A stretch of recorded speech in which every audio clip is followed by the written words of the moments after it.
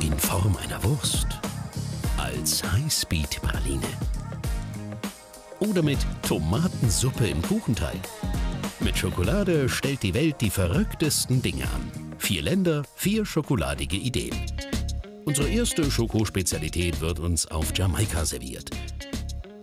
Hier gibt es jeden Morgen Schokolade zum Frühstück, nämlich Kakaotee. Wir reisen nach Port Antonio an die Nordküste Jamaikas.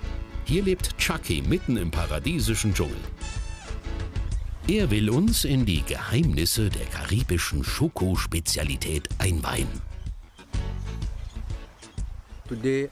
Ich zeige euch, wie man echte jamaikanische Schokolade macht. Wenn der Schoko-Heißhunger ruft, muss Chucky nicht in den Supermarkt. Er fährt auf die Plantage seiner Tante. Die baut, wie viele andere Jamaikaner, selbst Kakao an.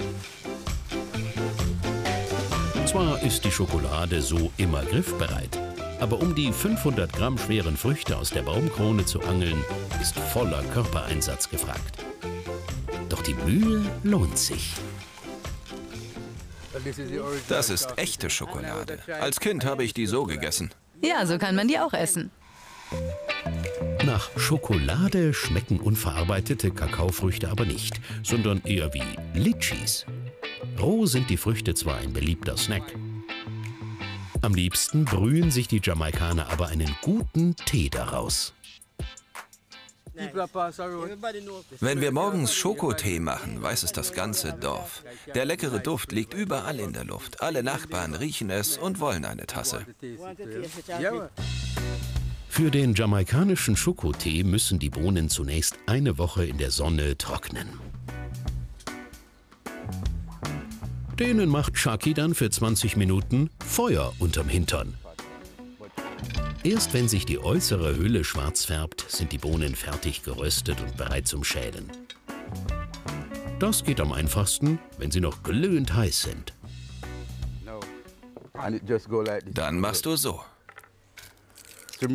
Einfach die Schale mit der Hand abknacken. Aber es ist super heiß. Du musst also ein echt harter Hund sein, so wie ich. Chucky wirft noch seine eigene Geheimzutat in den Mörser. Eine Muskatnuss für ein besonders würziges Schokoaroma. Wer es etwas süßer mag, kann auch Zimt nehmen. Dann stampft Chucky den Kakaobohnen-Gewürzmix. Das riecht so gut. Der Duft schießt mir direkt in die Nase und ich kann kaum noch abwarten, endlich meinen Schokotee zu trinken. Das frische Kakaopulver gießt Chucky mit Wasser auf. Sein Tipp, damit der Schokotee noch süßer und milder schmeckt, ein Schuss frische Kokosmilch. Und fertig ist der jamaikanische Frühstückstee.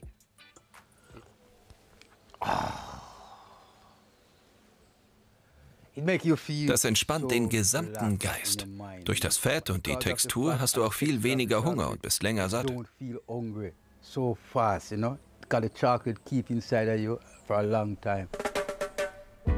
Wer weiß, vielleicht ist Schokolade zum Frühstück also eine überraschend gute Diätalternative. Zu schmecken scheint es auf jeden Fall.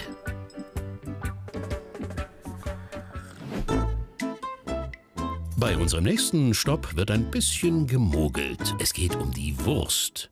Und zwar um eine Süße. Die Salame di Cioccolato. Wir sind zu Besuch in Rom und treffen Margarita und Camilla. Sie wollen uns zeigen, wie einfach man den italienischen Dessertklassiker zu Hause zubereiten kann. Der darf bei keinem Event fehlen. Man findet es zum Beispiel auf Volksfesten. Oder für Familien ist es auch gut. Weil es so einfach ist, kann man es gut mit Kindern zusammen zubereiten. Jeder mag Schokoladensalami. Kinder, Erwachsene. Es ist ja aus Schokolade. Und jeder mag Schokolade. Los geht es mit einem kleinen Akt der Zerstörung. Kekse bröseln. Mit den unterschiedlich großen Kekskrümeln wollen Margarita und Camilla später den Salami-Look täuschend echt imitieren. Damit die Kekskrümel und die Schokolade auch zusammenhalten, mischen Margarita und Camilla Eier, Zucker und zerlassene Butter zusammen. Für das gewisse Etwas hat Margarita noch einen Tipp. Wir geben noch zwei Teelöffel Rum dazu. Eigentlich kann man dafür jeden Likör verwenden, auch Marsala oder Limoncello. Und wenn man das für Kinder zubereitet, kann man auch Orangensaft oder Milch benutzen. Fehlt noch die Hauptzutat. In welcher Form diese im Teig landet, ist fast egal. Die einen fügen geschmolzene Blockschokolade dazu, die anderen rühren Kakaopulver ein. Wichtig ist nur die Konsistenz. Es bewegt sich nicht mehr, es bleibt auf der Seite. Das hilft uns, es in die richtige Form zu bringen. Mit einem Backpapier formen Margarita und Camilla den Schokoklumpen in Wurstform. Gut verpackt wandert der für einige Stunden in den Kühlschrank. Für den täuschend echten Salami-Look muss Margarita nur noch ein bisschen Puderzucker einklopfen und alles gut einschnüren. Es gibt auch unendliche Möglichkeiten, wie man die Schokoladensalami noch ein bisschen aufmotzen kann. Abgesehen vom grundsätzlichen Rezept mit Keksen und Schokolade kann man auch Walnüsse und Pistazien dazugeben. Oder es mit weißer Schokolade machen. Oder Milchschokolade.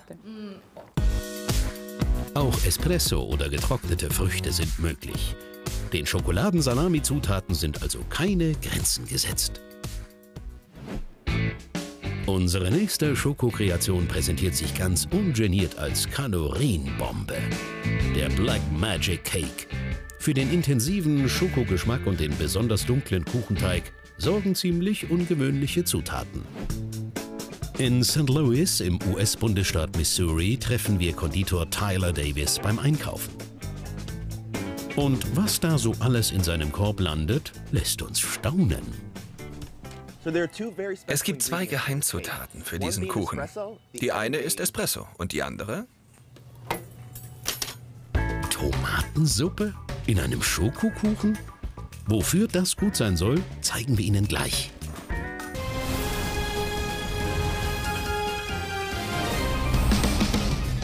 Vier Länder, vier schokoladige Ideen. Als nächstes wollen wir dem Black Magic Cake auf die Spur kommen.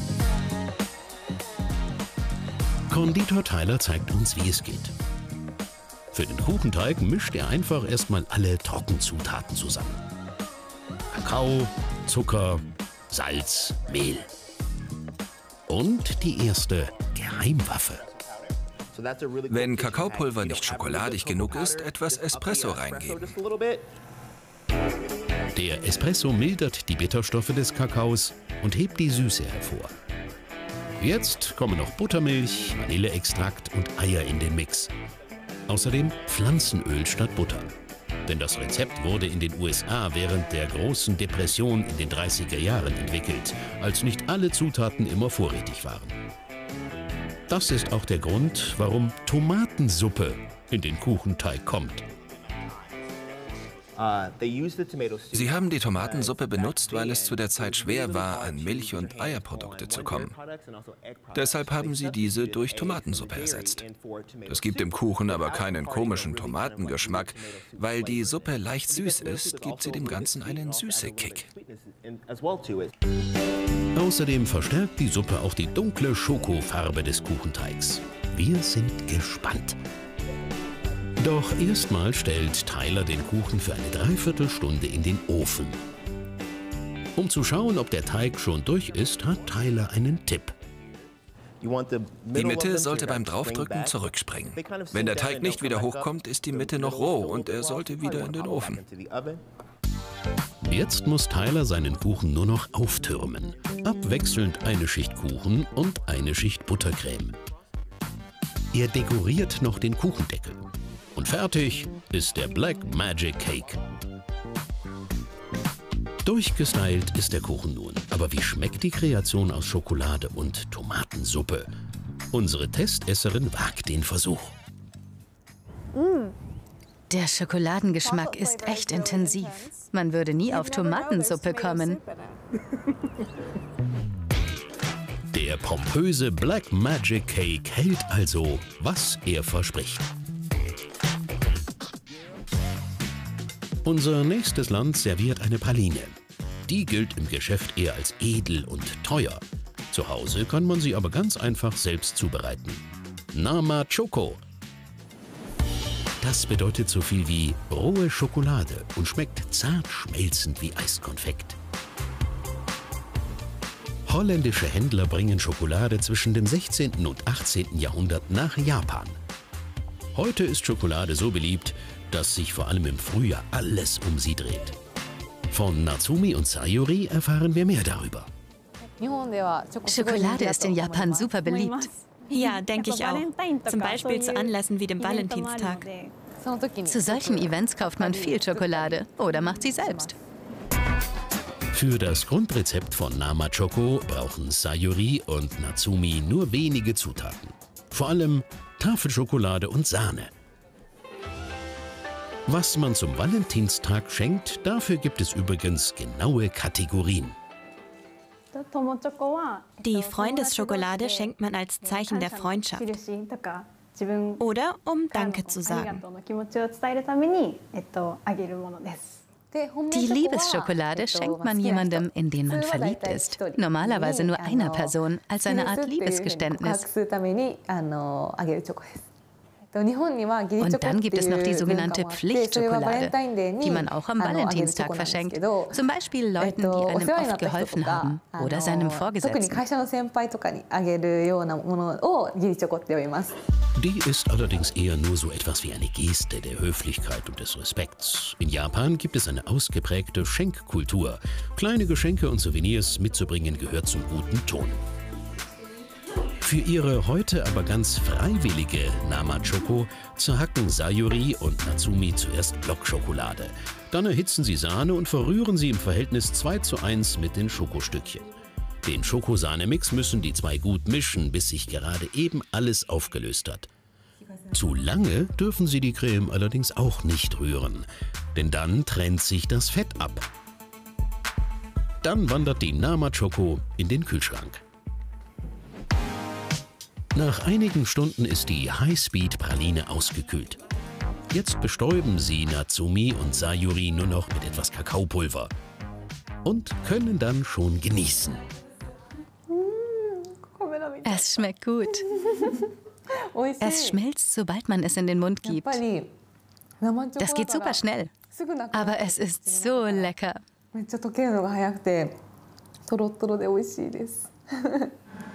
Ob als wohl einfachste Praline der Welt, als leckerer Frühstücksdrink oder ungewöhnliches Dessert, mit Schokolade wird es anscheinend nie langweilig.